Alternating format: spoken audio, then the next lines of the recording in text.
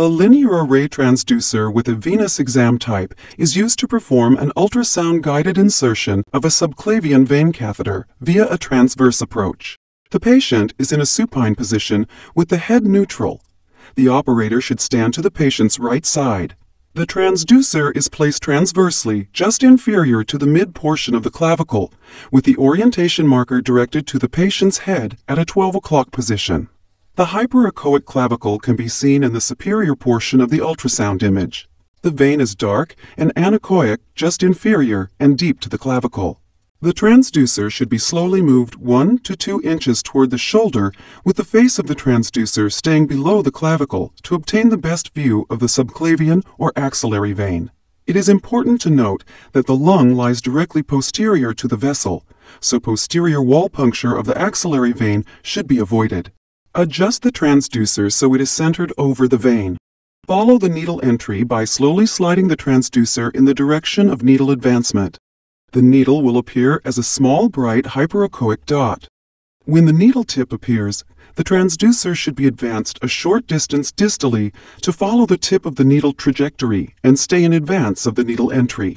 The needle is slowly advanced under direct ultrasound visualization until the tip is seen to puncture the subclavian vein. The probe should be moved slightly proximally and distally to confirm that the needle tip lies in the mid portion of the vein. Start by identifying the clavicle. Visualize a line at a right angle to the body's midline and align the probe with it.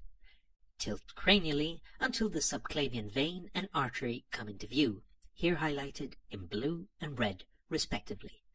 Note that it's not always possible to achieve a view where both vessels are visible at the same time, but it's vital to identify both in order to avoid an accidental arterial puncture. The artery usually pulsates and is located deeper, more cranially, while the vein is shallower and expands and contracts with the respiratory cycle, though note that it might actually pulsate due to the proximity to the artery.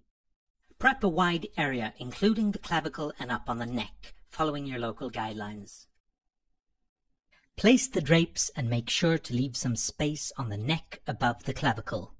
Position the probe as far medially as possible where the vessel is less prone to collapse and the diameter is larger. This is especially important in the hypovolemic patient. Inject the local anesthetic superficially a few centimeters from the probe. Cover the point of cannulation and where the sutures will go.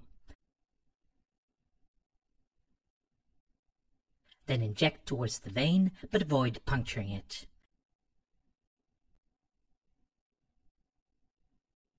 Use the empty 2cc syringe as an improvised handle and place the index finger along the cannula to facilitate lateral displacement. Advance the cannula towards the vein in a continuous motion, but proceed only if you see the needle tip.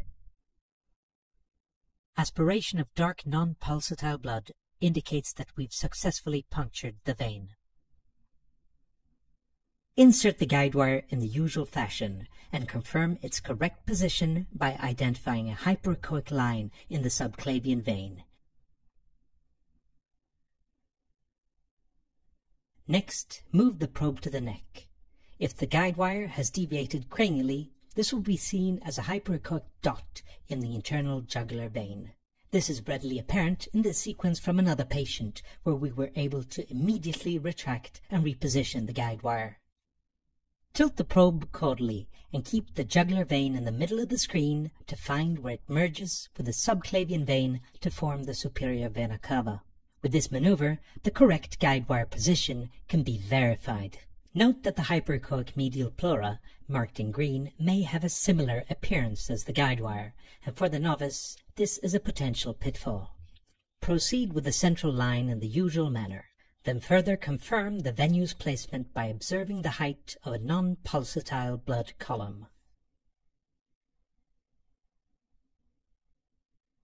We're currently performing a validation study, but we believe that most post-procedural x-rays will be redundant if the guide wire position has been confirmed using this technique.